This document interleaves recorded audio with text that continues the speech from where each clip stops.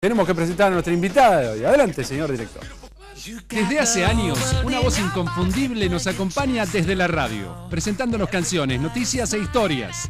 De esas voces que hacen de todo. Te puede hacer reír, soñar o ratonear.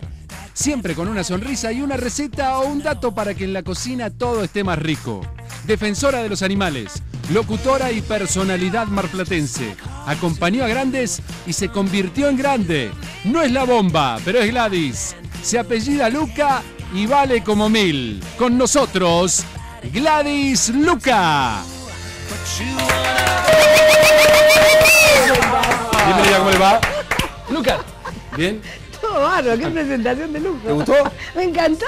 Bueno, qué lindo. Bienvenida. Pero vos venías como invitada y yo viniste a laburar, ¿sabías? ¿no? ¿Te dijeron? Lógico. Yo cobro, lo mío es muy caro, chicos. Viniste a laburar, sabemos que, que sos amiga, que yo, así Sí, que vamos a trabajar a un trabajar. poco. ¿Estás para, para participar con algunas cosas? Dale, con lo que quieras. Bueno, No como siempre. drama. Podría pagar con una rica receta igual, eh, con un También. plato. ¿Algún No dato de cocina ¿eh? vamos a pedir? Gladiola, ¿eh? Fleco Gladiola, mi amor se acuerda. Cuando cocinamos en cocina ya, Claro. sí, muy bueno. ¿Algún tip para el joven Jeremías Sierra que cocina solo zapallo con queso es lo que hace? Ah, Pobre bueno. No, ha hecho salchichas también y Ah. creo, que ya no se le revientan cuando No, cocina. los adolescentes, chicos, los adolescentes nos manejamos así hoy día. Los adolescentes.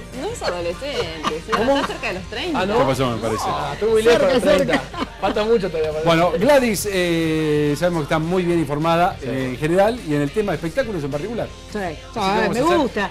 la Me noticia gusta del espectáculo. ¿Te gusta sí, chusmear? Me gusta chusmear todo. Sí. Todo. Chusmear todo, en serio. Jurado de. Estrella de Mar. También, quinto año, Bien. por suerte. Sí, Sí, un muy placer. bien. ¿Te involucras con estas historias de corazón? ¿Sabes? Está Han bueno, el amor siempre. Sí, Siempre. Mira qué bueno. Bueno, vamos a arrancar con las noticias, ¿te parece? Vicky Banucci confirmó que está embarazada nuevamente de Matías Garfunkel. Ajá. Bien. Qué bien. Eh, yo lo que creo de Victoria Banucci, que antes era una chica que tenía una vida muy bastante divertida. Sí, muy bien. Y una vez que se enamoró, lo demostró una vez más cuando el marido tuvo un accidente muy grave Exacto. en Sí. Bariloche. Es cierto. Y estuvo al pie del cañón. Una con- leona. Exactamente, con la familia, con su marido. Y está perdidamente enamorada en serio. Muy bien, pero ¿quién no tuvo una- algún momento de la vida así como, ¿no? Una vida cosita. divertida, muy bien lo dicho Gladys. Divertida. Y después se empareja, no sé Gladys Luca cómo, cómo ha sido Mirá. su vida. ¿En algún momento tuvo así una cosa de- Me sigo divirtiendo. Perfecto. Si Ah, no, bueno, ah, bueno. Hay que ponerle pimienta, hay que ponerle chumi, chimi digo la cosa. Es cierto. Yo pienso en lo distinto que hubiera sido la noticia si hubiera estado con el logro Fabiani, ¿no? De, de Bueno, de hecho. ¿cuánto estuvo casado? Muy poquito. Mm, y hace poco que logró Diez minutos. Sí. Hace poco lo- está, está mm, recreando su casamiento, pero va a ser una boda fastuosa. ¿Recuerdan aquel casamiento con el ogro que fue una especie de quincho, ¿no? Que había lío. Y muy Eh, al ogro. ¿no, fue en, ¿No fue en este que el ogro se enteró en el casamiento que Victoria Banucci no tenía la edad que decía tener? Sí. ¿No fue en ese casamiento? Sí. Sí, no sabía Sí. ni cuántos años tenía la mujer. Ah, muy, Le cantó, claro, Muy al ogro. La está rompiendo mal Fabiani. ¿eh? Sí, muy bien. En este momento, mandamos un gran saludo. Rompiendo mal. Muy bien, muy bien. Bueno, Victoria Banucci, me gusta, es amor. Para mí es amor. Para mí es amor. Sabía que teníamos la pantalla TAC.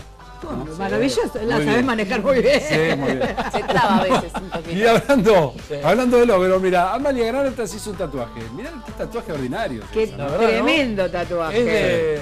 que venía con los chicles, pero más grande. Pero claro, Me gusta, no llego a leer lo que dice. ¿Qué dice Amo abajo? la libertad de vivir como yo quiero. Pero la calavera no se entiende, ¿no? No, bueno, la calavera en la cultura mexicana no es vista como la vemos nosotros, que nos parece ahí, se festeja la muerte, se cree que se van a un lugar mucho mejor. Me da miedo a mí. Y está un poco de moda. El tema es hacerte un tatuaje que es para toda la vida con algo que está muy de moda hoy.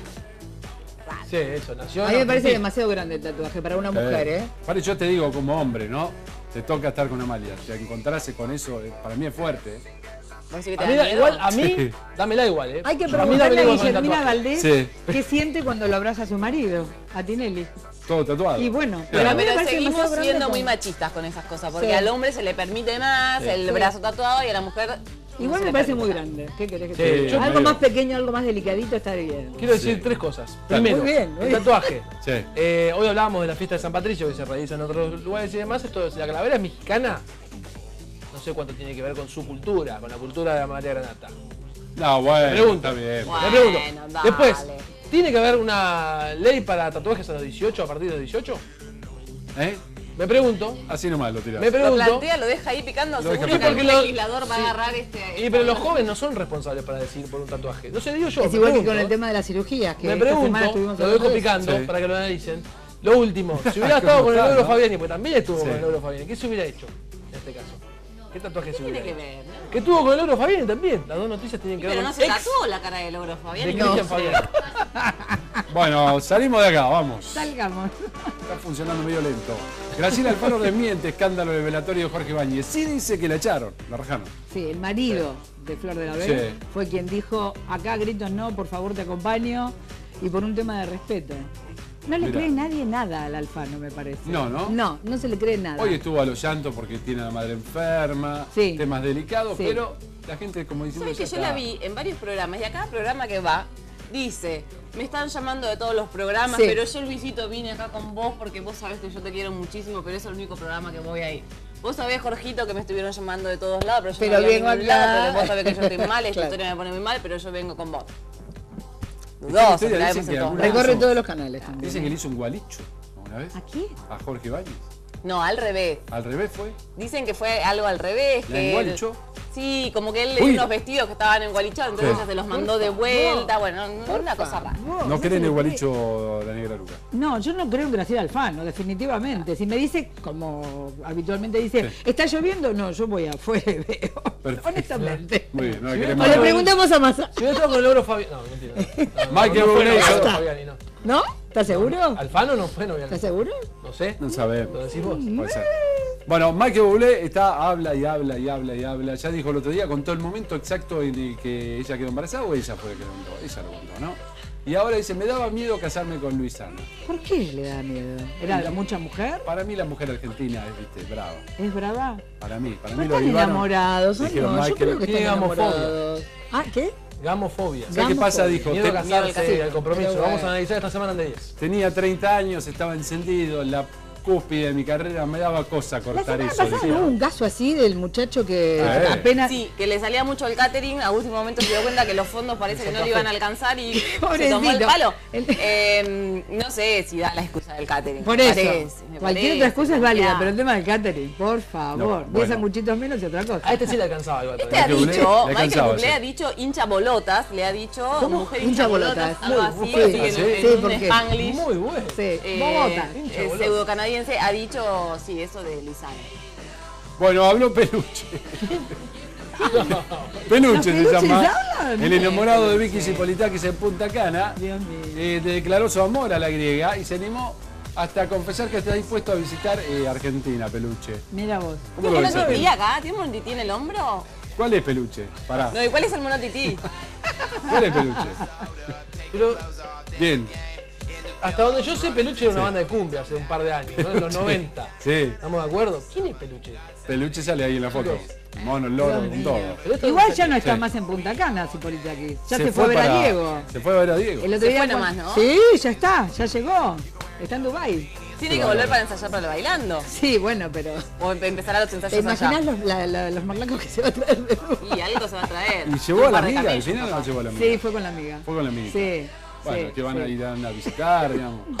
¿Cómo es el Diego, qué lindos rulos que tenés, le va a decir. Sí. Bueno, la cuestión es que Peluche en cualquier momento se viene, yo te digo, Peluche al bailando, te lo digo ya. Y pues. ¿Lo veo a Peluche?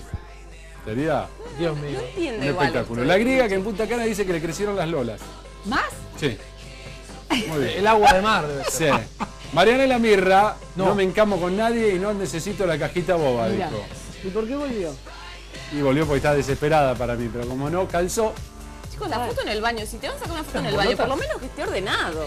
Ya de por sí la foto en el baño es un espanto. pero es Es natural. En quería- todo lo que tiene ahí. mirá todas las porquerías que tiene Es ahí. cierto. Y ¿No? para colmo los baños son terribles, porque los baños como que le dejamos de todo. Está en bolotas, sí. ¡Están están bodotas! Está en Son bolotas.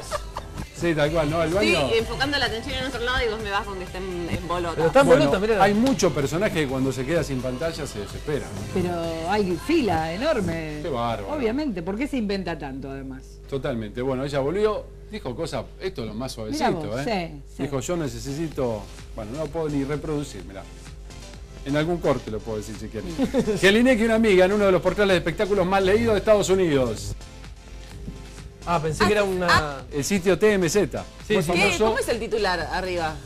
Eh, colas arriba en Miami. Ah. digamos, Una vez más. Por decirlo de alguna forma. Ah. Una vez más. Una Haces- vez más, sí. Yo no sé si es porque son ellas Haces o justo up. pasamos al cámara por ahí. Yo pregunto, ¿la Jelinek también no va a Dubái? Eh, en cualquier momento, ¿no? Estaba invitada. Data, Estaba ¿eh? invitada. Estaba sí. invitada. Bueno, acá estaba, será Paz Cornú, esta, a ver. A ver. Ay, no. Yo te digo. ¿eh? La tenemos muy mirada Sí, a Paz. sí, ¿eh? Eh, bueno, muy bien, muchas gracias que estés acá, ¿eh? Por nada. De verdad. ¿Me tengo que ir? No la eche, Ya te ¿no? tenés que, ya te tenés Sí, que ir. sí, sí, Muchas sí. gracias, Gladys. No. Mirá, eh, hablando de cosas del mundo del espectáculo, me sorprendió mucho, casi como a vos, esta visita que recibiste hace poco en la radio. Uh, Mira, vamos a ver el A ver, video. a ver. Mira.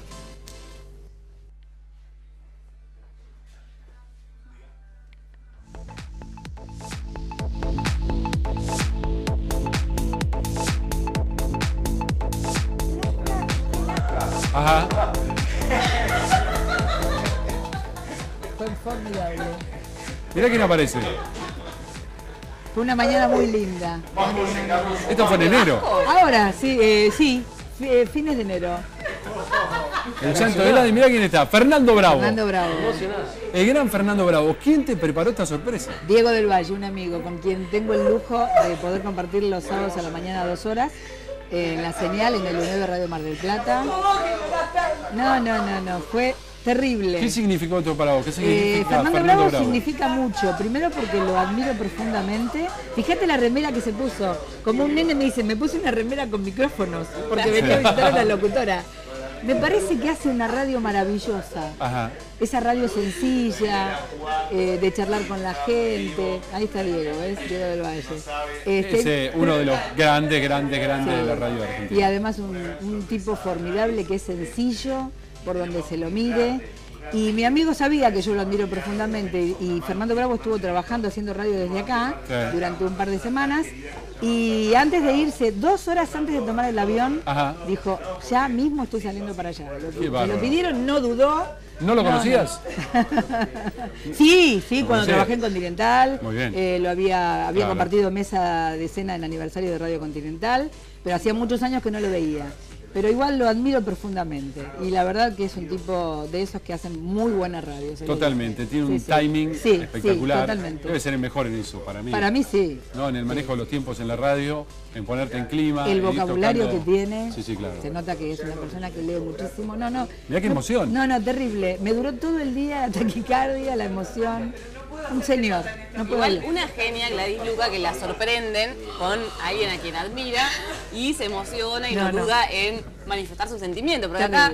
Pepe y Jere estuvieron un año entero hablando de Maggie Bravi, Maggie Bravi, Maggie Bravi, se la trajimos acá de Sí. sorpresa. ¿Y? Y Pepe dijo, mira vos, Maggie Bravi. ¿Quién? Maggie Bravi, nada más que eso. ¿Quién? Chica, por favor. ¿Sabes qué Una, pasa? una escena gigante, ¿Sabes para qué que no- pasa? la tuvimos guardada adelante en el No. de reuniones para que no La la táctica, la No. táctica es eh, poner una distancia, No, frío, calor, frío, calor, frío, calor. No, los sentimientos no, no, ¿qué pasa? Poner distancia. Claro, No, si no, sí. te pareces Claro, entregado. No, no, no, es encantador. Mi mamá me decía, vos no te entregues de una. No, Ay, ¿qué? Bueno, No sé ahí está, mirá qué, qué gran momento. ¿eh? sí, fue maravilloso, fue maravilloso. Eh, la verdad que no sospeché nada. Hasta él entró a la radio y se agachó porque hay una parte del vidrio de la consola donde yo puedo ver quién ingresa a la radio. Y sin embargo el tipo, nada, con los años de carrera que tiene, simple, no dudó en venir, eh, charló con gente en la radio, se sacó fotos, no, maravilloso. Y un amigo como Diego que, que preparó todo. No, Bueno, gracias. realmente, buenísimo. Lindo momento, ¿eh? Compartido. lindo.